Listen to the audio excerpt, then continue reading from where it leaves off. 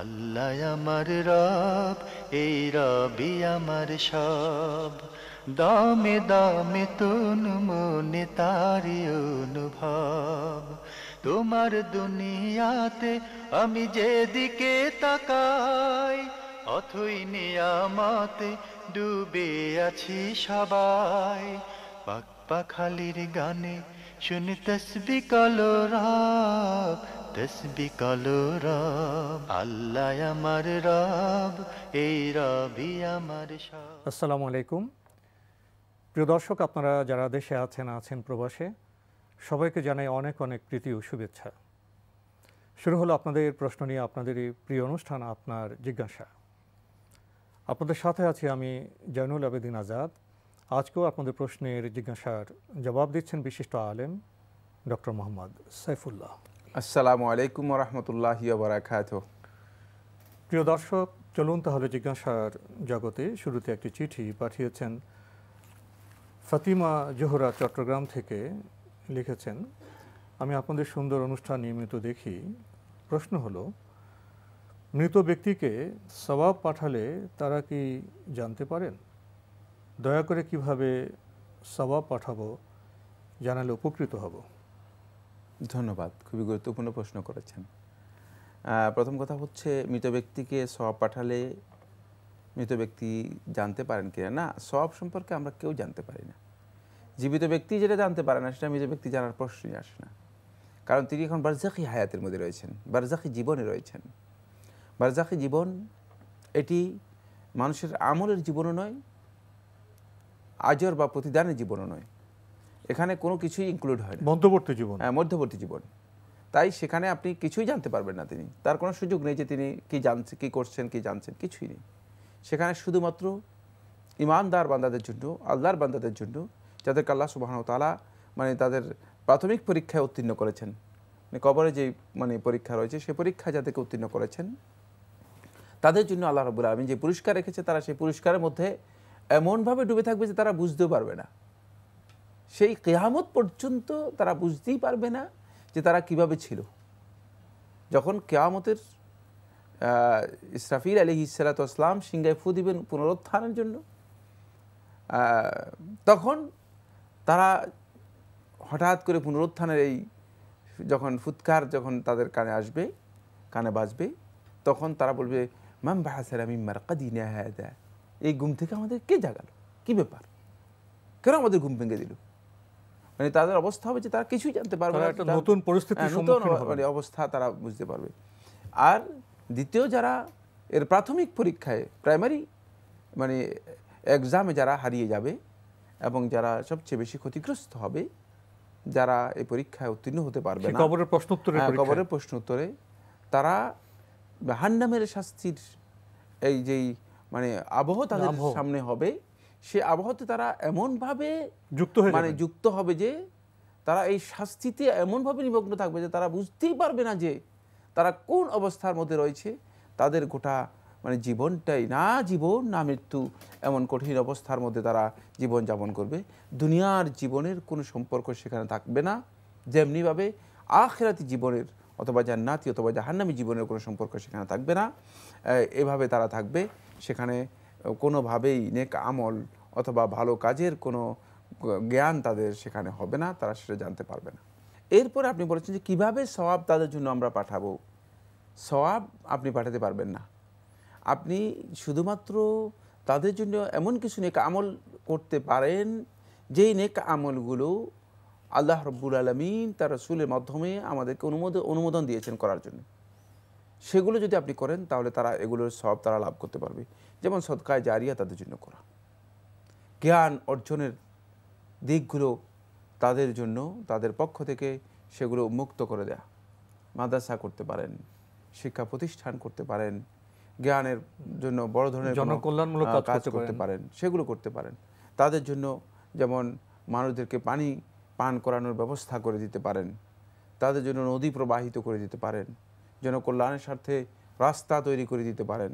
কোরআনে করিমের মোসাফ তাদের জন্য বিতরণ করতে পারেন। তাদের জন্য আপনি ওমরা হজের ব্যবস্থা করতে পারেন। তাদের পক্ষ থেকে আপনি কোরবানির ব্যবস্থা করতে পারেন। তাদের পক্ষ থেকে আপনি হজের ব্যবস্থা করতে পারেন বদলি হজের ব্যবস্থা করতে পারেন। যেগুলো মানুষকে খাওয়াতে পারেন। হ্যাঁ দরিদ্র মানে যে মানুষ অথবা দরিদ্র নয় মানে খাবানোর কাজটি ইবাদত দরিদ্র না হলেও ইবাদত। সুতরাং যে কোনো বলছি বিশেষ হ্যাঁ, করে দরিদ্রদের হ্যাঁ, জি, প্রয়োজনটা বেশি। যে কোনো ব্যক্তিকে আপনি খাওয়াতে পারেন। আপ্যায়ন পক্ষ করলেই থেকে, হ্যাঁ সওয়াব। সবাবের জন্য তাদের পক্ষ থেকে নিয়ত করে খাওয়াতে পারেন। তাদের পক্ষ থেকে আপনি দান করতে পারেন। ফকির মিসকিনদেরকে যারা অভাবী আছে তাদেরকে দান করতে পারেন। সুতরাং তাদের পক্ষ থেকে যেগুলো করার জন্য অনুমোদন দেওয়া আছে সেগুলো আপনি করতে পারেন। এবং এগুলো করলেই আল্লাহ সুবাহ তারা যদি কবুল করেন তাহলে আল্লাহ রব্বুল আলমী মেহরবানি করে এই নেক আমলগুলোর সব আল্লাহ রব্বুল আলমিন তাদের আমল নামার মধ্যে এগুলো দেবেন। আরেকটি কাজ রয়েছে, সেটা হচ্ছে আপনার জন্য যেটা আল্লাহ সুবাহ তালা বেশি গুরুত্ব দিয়ে অনুমোদন দিয়েছেন, আমাদের জন্য গুরুত্ব দিয়েছেন, সেটা হচ্ছে তাদের জন্য দোয়া করা, শিক্ষা দিয়েছেন। রব্বের হাম হুমা কামা রব্বা ইয়ানি সগীরা। যে পিতামাতার জন্য যখন দোয়া করবেন, কীভাবে দোয়া করবেন, সেটাও আল্লাহ রবুল আলমী শিক্ষা দিয়েছেন। সুতরাং আত্মীয় স্বজন হোক, পিতামাতা হোক, যারা মারা গিয়েছে, তাদের জন্য আপনি বেশি বেশি করে দোয়া করতে পারেন আল্লাহ রাবুল আলমিনের কাছে, যেন আল্লাহ সুবাহ তারা তাদেরকে ক্ষমা করেন তাদেরকে জান্নাত দেন এবং তাদের যে সমস্ত গুণা খাতা আছে সেগুলো যেন মাফ করে দেন ইত্যাদি ইত্যাদি দোয়া করতে পারেন। এই কাজগুলো আপনি করলে তারা এগুলোর সব আল্লাহ সুবাহ তারা যদি মেহরবানি করেন তাহলে দিতে পারেন। আমরা জানলাম খুবই গুরুত্বপূর্ণ বিষয়ে। এরপরে তিনি আরও জানতে চেয়েছেন কেউ যদি আগুনে পড়ে মারা যায় পানিতে পড়ে মারা যায় লাশ তো পাওয়া গেল না তাদের কীভাবে সওয়াল জবাব হবে কবরে? কীভাবে হবে? এই প্রশ্নের উত্তর যদি আমি দিতে পারতাম তাহলে আমি কবরের সওয়াল জবাবের যত দিক আছে সবটাই আমি আপনার কাছে এক্সপ্লেইন করতে পারতাম। এটাই মানে আল্লাহ নবী সাল্লাহ আলী সাল্লাম জানাননি। দেওয়া জ্ঞান আমাদেরকে দেওয়া হয়নি। সুতরাং এই জ্ঞান যদি কেউ দিয়ে থাকেন তাহলে তিনি ভুল জ্ঞান দিচ্ছেন। এই জ্ঞান দেওয়ার কারও অধিকার নেই। এটা এমন বিষয় যে বিষয়ের জ্ঞান মানুষদেরকে আল্লাহ সুবাহানাও তালা দেননি। মানুষ এ বিষয়ে গবেষণা করার কোনো প্রয়োজন নেই। কীভাবে হবে সেটা আল্লাহ সুবাহ এটা তো আমরা স্পষ্ট জানি। আগ্নপুরে আগুনে মারা যান পানিতেপুরে মারা যান যেভাবে মারা যান সব মানুষই তো আল্লাহর যে সার্বভৌম ক্ষমতা তার ক্ষমতার অধীনে তো। সবই তার আয়ত্ত মধ্যে। এটা তো কোনো বিষয় না। না মারা গেছেন তিনি তো আল্লাহ তাআলার সব ক্ষমতা তার আয়ত্তের মধ্যে। সুতরাং প্রশ্নই আসে না যে এই কথা বলা যে আল্লাহ রাব্বুল আলামিনের ক্ষমতার বাইরে। সওয়াল জবাব উনি যে কোনো জায়গায় নিতে পারেন। কীভাবে পদ্ধতি এই প্রশ্নটাই হচ্ছে বেদাত। সুনির্দিষ্টভাবে আমরা বলতে পারব না সুয়াল আনিল কাইফি মানে বেদাহাতুন এই কীভাবে এই প্রশ্ন করাটাই হচ্ছে বেদাত। সুতরাং ইমাম মালিক রহমতুল্লাহ বলেছেন যে কীভাবে এই ধরনের প্রশ্ন করার এই মোকাইয়া মোকাইয়াবাতের মানে এই গায়েবের অদৃশ্য জ্ঞানের বিষয়গুলো সম্পর্কে কীভাবে প্রশ্ন করা এটাই বেদাত এটাই জায়জ নেই। এবং এটা সুনির্দিষ্টভাবে বলার কোনো জ্ঞান মানুষের না কারণে তো এটা আমরা জানি আল্লাহ চাইলে যে কোনো জায়গায় যে কোনো প্রকারে যে কোনো স্রোতে মানুষের কাছ থেকে জবাবদিহি নিতে পারেন। না আমরা তো একটা আপনি একটা ছোট্ট ছোট্ট একটা বিষয় চিন্তা করেন। সেটা হচ্ছে এই মানব দেহের যে কোষগুলো রয়েছে বিজ্ঞানীরা পরীক্ষা করেছে এই কোষগুলোর জন্য খাবার আছে। কিন্তু কীভাবে খায়? এটা কি কেউ উত্তর দিতে পারবে? অনেকগুলো বিষয় আছে যেগুলোর কীভাবে উত্তর দেওয়ার কোনো সুযোগ নেই। বোন ফাতিমা জোহরা আপনি আরও লিখেছেন মৃত ব্যক্তির জন্য নফল নামাজ পড়ে সওয়াব পাঠানো যাবে? ওনার প্রশ্নের মধ্যে আমরা আগে উত্তর দিয়েছিলাম নফল নামাজ পড়ে সব পাঠাবেন কীভাবে? সব তো আপনি মালিক নন। যে এই কাজের মানে আপনার অধিকার নেই সে কাজ আপনি করতে পারেন দোয়া করতে পারেন। আপনি নফল নামাজ পড়ে দোয়া করতে পারেন সব পাঠাবেন না জি। লিখেছেন কোন দোয়া পড়লে আল্লাহ দোয়া কবুল করেন? জানাবেন। আল্লাহ সুবাহ তারা বান্দাদের দোয়া কবুল করেন, একটা গুরুত্বপূর্ণ সময় আছে। আবার দোয়া কবুলের গুরুত্বপূর্ণ কিছু মানে দোয়াও রয়েছে। দোয়া কবুলের বিভিন্ন স্টেপ দেওয়া আছে। তার মধ্যে ইসমুল্লা আজমের মাধ্যমে দোয়া করার বিষয়টি হাদিসের মধ্যে রয়েছে। যদি কেউ আর ইসমুল্লা আজমের মাধ্যমে দোয়া করেন। আল্লাহ তালার যে বড় নাম, তার মাধ্যমে দোয়া করেন। রসুল্লাহ সাল্লাহ আলী সাল্লাম হাদিসের মধ্যে বলেছেন যে, তাহলে তার দোয়া কবুল হয়ে থাকে। তাই আপনি চেষ্টা করুন সেগুলো শিখে নেওয়ার জন্য। সুন্নার মধ্যে মূলত আমরা দেখি অনেকগুলো দোয়া রসুল্লাহ সাল্লাহ আলী সাল্লাম শিক্ষা দিয়েছেন, যেগুলো রসুল সাল্লাহ আলী ইসলাম বলেছেন যে, এই দোয়াগুলো তিনি করেছেন এবং উম্মাদকে করতে বলেছেন। যে দোয়াগুলো রসুল্লাহ সাল্লাহ আসলাম করতে বলেছেন এবং করেছেন, সেগুলো করাটা উত্তম এবং আমরা আশা করব যে সেগুলো আল্লাহ সুবাহ তালা কবুল করবেন। প্রিয় দর্শক, এবার আমাদের হাতে একটি দীর্ঘ চিঠি এটি পাঠানো হয়েছে বর্ণমালী স্কুল অ্যান্ড কলেজ শনি রাখা ঢাকা থেকে। আপনি লিখেছেন, কসর করা সালাতের বাকি দুই রাকাত কি বাসায় এসে আবার পড়তে হয়? আমাকে একজন বলেছেন, পড়তে হয়। না যেই সলাৎ আপনি কসর করেছেন সেই সলাতের বাকি দুই রাকাত বাসায় এসে পড়ার বিধান নেই। তাহলে আপনি আর কসর করলেন কি জন্য? একেবারে ভুল গবেষণা। জি। লিখেছেন রক্তের সম্পর্ক ছাড়া অন্য মহিলাদের সামনে সর্বোচ্চ কতটুকু অঙ্গ প্রত্যঙ্গ বের করে রাখা উত্তম মহিলাদের? শুধুমাত্র মহিলাদের সামনে শুধুমাত্র যেই সমস্ত অঙ্গ প্রত্যঙ্গগুলো খোলাটা একান্ত প্রয়োজন না খুললেই নয়। সেগুলো খুলে রাখা উত্তম। এখানে মাসালা দুটি। একটা হচ্ছে উত্তমের মাসালা আর একটা হচ্ছে জাওয়াজ বা বৈধতার মাসালা। জায়াজার মাসল। জায়েজের মাসালা। মানে তিনি কিন্তু প্রশ্ন করেছেন উত্তমের। এই জন্য আমরা উত্তমের কথাটা বলেছি যে উত্তম হচ্ছে যথাসম্ভব নিজের সৌন্দর্যকে ঢেকে যেগুলো বের না করলেই নয় মানে সেগুলো আপনি বের করবেন আর বাকিটা আপনি চেষ্টা করবেন সেটাকে ঢেকে রাখা। কারণ হচ্ছে মহিলাদের সামনেও অনেক সময় সৌন্দর্য যখন আপনি কেন প্রদর্শন করবে? আহ, প্রকাশ করেন তাহলে অনাকাঙ্ক্ষিতভাবে ওই মহিলা মানে আপনার সৌন্দর্যের বিষয়টি অন্য কারও কাছে সেটা প্রকাশ করে দিতে পারে। হতে পারে যে তার স্বামীর কাছে অনেক সময় যাই বলে দিতে পারে অথবা তার কোনো নিকট আত্মীয়র কাছে সেটা বলে দিতে পারে। ক্ষতির কাজ হ্যাঁ, ফলে। ক্ষতির কারণ হতে পারে জি। এই জন্য সেটা না করাটাই উত্তম। বাকি রয়ে গেছে যেটা, সেটা হলো স্বাভাবিকভাবে মহিলাদের সামনে মহিলাদের সতর্ক হচ্ছে। মহিলারা নিজেদের মানে লজ্জাস্থান এবং বুক এবং পিঠ এগুলো সম্পূর্ণরূপে মানে ঢেকে রাখবে। বাকি অন্য জিনিসগুলো তারা প্রকাশ করতে পারবে। এগুলো প্রকাশ করলে তাদের জন্য গুনাহ নেই। এটা হচ্ছে জায়েজের মাসালা। সুতরাং এটা করতে পারে। কিন্তু আমরা আগেই বলেছি, উত্তম হচ্ছে আমরা যেটা আগে আলোচনা করেছি সেটাই। এক্ষেত্রে যিনি সতর্কতা অবলম্বন করবেন তিনি মূলত সবচেয়ে উত্তম কাজটি করলেন।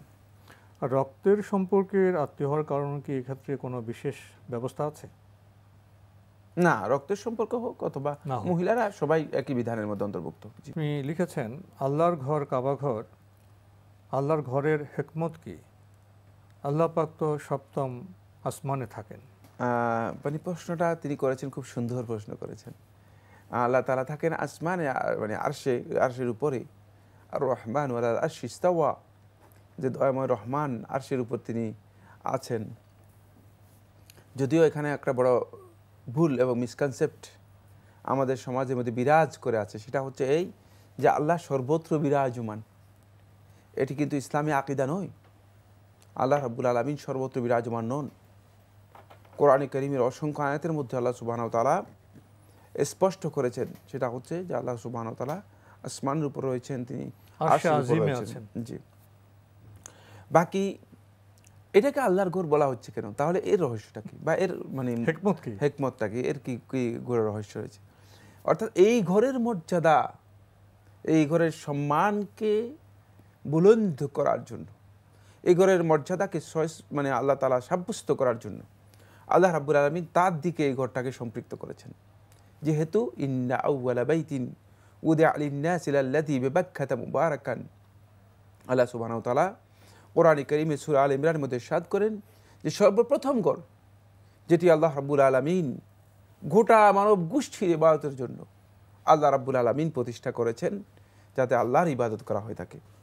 তাই আল্লাহর ঘর বলতে মূলত আল্লাহ রাব্বুল আলামিনের ইবাদত যে ঘরের আল্লাহর ইবাদতের ঘর। জি যে ঘরের মধ্যে আল্লাহ ওয়া তাআলার ইবাদত করা হয়ে থাকে সেই ঘরটাই হচ্ছে মূলত আল্লাহর ঘর।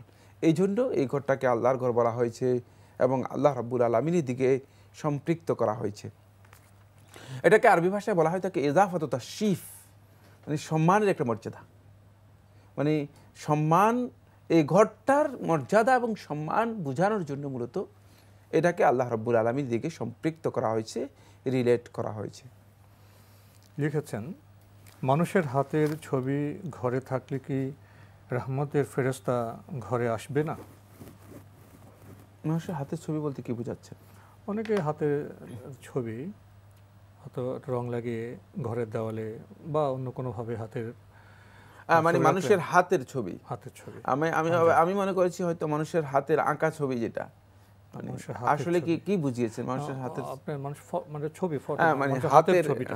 মানে হাতের একটা অংশ ছবি ছবি যদি আসে রহমতের ফেরেশতা ঘরে প্রবেশ করবে না। এই মর্মে কোনো হাদিস সাব্যস্ত হয়নি। কারণ হাত বা কোনো অঙ্গ প্রত্যঙ্গের কথা হাদিসে আসেনি। পরিপূর্ণ যদি আকার অথবা সুরাহ আকৃতি থাকে তাহলে রহমতের ফেরেশতা আসবে না। মর্মে রসুল্লাহ সাল্লাহ সাল্লামের একটি হাদিস আবু দাউদের মধ্যে এসেছে। কিন্তু এই হাতের ছবির সাথে যদি কিছু যুক্ত করা হয় কোনো কল্যাণ অকল্যাণ যুক্ত করা হয় তাহলে অবস্থা কেমন হবে? না তাহলে শির্ক হয়ে যাবে শুধু রহমতের ফেরেশতা আসবে না অনেক আছে না যে পাঞ্জা দিয়ে অনেকে তাবিজ তোমার করে কল্যাণ অকল্যাণ অনেক বিষয়ে থাকে এগুলো যুক্ত হলে কি অবস্থা হবে? না যদি কেউ এটাকে মনে করেন তাকে মানে পাঞ্জা পাঞ্জাতন যেটাকে বলা হয় তাকে পাক পাঞ্জাতন যেটাকে বলা হয় তাকে যদি এই আকিদা পোষণ করে থাকেন তাহলে এটা শির্ক হবে রহমতের ফেরেশতা নয়। এখানে মূলত মানে ফেরেশতাই আসবে না আল্লাহ তালার বরং আল্লাহর গজব। বন্দেগী কবুল হবে। হ্যাঁ, এবাদতও কবুল হবে না আল্লাহর গজব এখানে নাজিল হবে। এটাকে মানে কোনোভাবেই রহমতের মানে অংশ হিসেবে গ্রহণ করার কোনো সুযোগ নেই।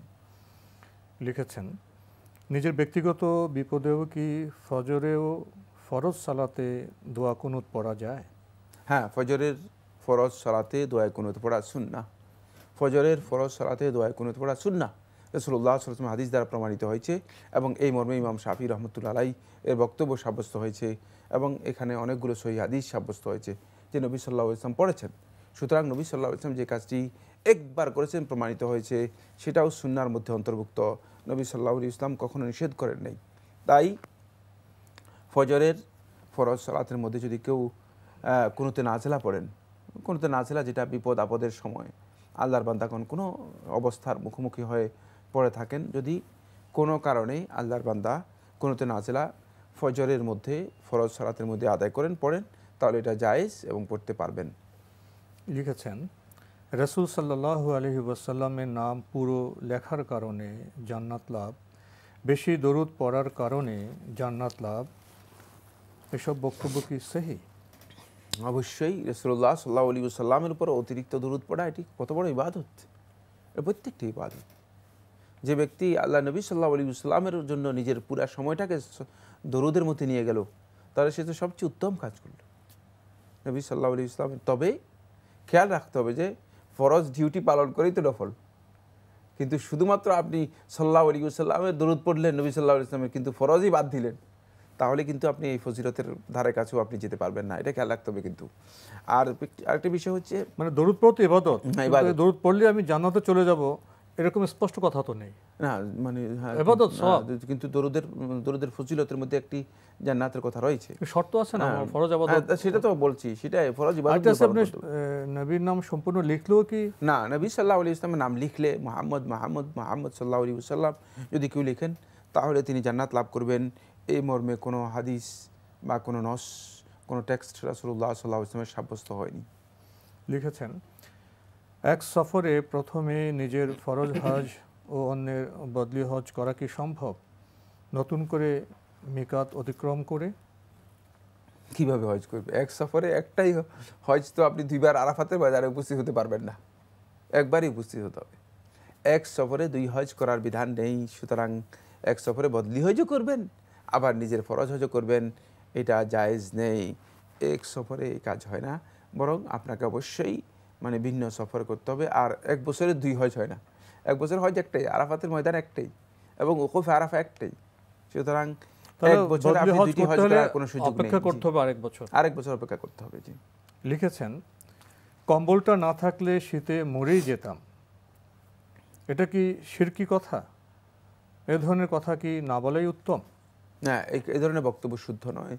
এটা এক প্রকারের শির্ক এটা কিন্তু মানে শির্ক শির্কের স্তর আছে স্টেজ আছে। এটা এক প্রকারের শির্ক আচ্ছা আমি যদি মানে এখানে এভাবে বলতে চাই।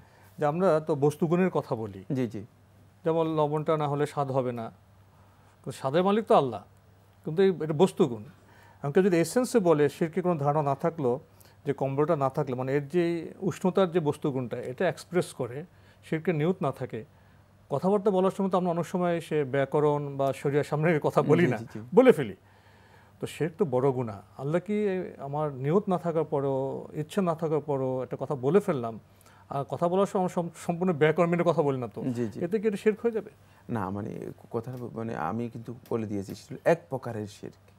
মানে শির্ক না শির্কের মধ্যে এক প্রকার শির্ক তো বললেন। হ্যাঁ না মানে সেই শির্কের যে বিধান সেই বিধানের মধ্যে এটা মানে যাবে না। কিন্তু মানে এটাও শির্ক। কারণ এর মধ্যে শিরকি মানে দৃষ্টিভঙ্গি রয়ে গেছে কিন্তু এই ব্যক্তি এই ব্যক্তি মানে জাহিল হওয়ার কারণে হতে পারে যে তার কাজটা শির্ক নাও হতে পারে। কিন্তু এই বক্তব্যটাকে ইসলাম কখনো কোনোভাবেই অনুমোদন দেয় না। এটা খেয়াল রাখতে হবে যে কারণ ইসলাম যে ধরনের বক্তব্য অনুমোদন দেয় না সে বক্তব্য আমাদের না দেওয়াটাই হচ্ছে ইসলামী বিধান। এটা উত্তম। জি।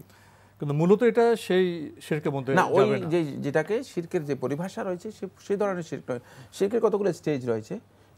এটা হচ্ছে এক প্রকারের শির্ক এটাকে মানে আসগর বলা হয় এবং এই ধরনের শিরকে লিপ্ত হওয়া কোনো ব্যক্তির জন্য মানে জাহিল ব্যক্তির জন্য মানে জাহালতের কারণে হয়তো এটা মাজুর হতে পারে। আল্লাহ সুবহানাহু ওয়া তাআলা তাকে হয়তো মাজুর মনে করতে পারে। আমাদের মানে সচেতনভাবে কথাবার্তা বলা প্রয়োজন। হবে তো আজকে আমাদের এখানে শেষ করতে হচ্ছে। আপনাকে অনেক ধন্যবাদ। আপনাকে অশেষ ধন্যবাদ।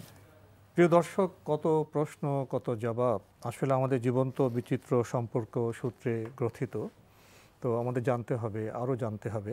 চিঠি লিখুন, প্রশ্ন পাঠান আমাদের ঠিকানায়। পরিচালক আপনার জিজ্ঞাসা, এনটিভি বিএসএসি ভবন সপ্তমতলা একশো দুই কাজী নজরুল ইসলাম এভিনিউ, কারওয়ান বাজার, ঢাকা এক দুই এক পাঁচ। আপনারা ইমেলও করতে পারেন। আমাদের ইমেল অ্যাড্রেস আপনার জিজ্ঞাসা at NTV BD dot com প্রিয় দর্শক, আপনারা আমাদের অনুষ্ঠানে এনটিভি অনলাইনও দেখতে পারবেন। ভিজিট করুন W W W dot NTV dot com আপনারা ইউটিউব এবং ফেসবুকেও আমাদের অনুষ্ঠান দেখতে পারবেন। ঠিকানা N TV BD dot com slash YouTube Facebook dot com slash N TV digital দর্শক, আপনারা সবাই নিরাপদে থাকুন থাকুন শান্তিতে। আসসালামু আলাইকুম। আমার রব, এই রবি আমার সব। দামে দামে তুন মনে তারি অনুভব। আল্লাহ আমার রব এই রবি আমার সব।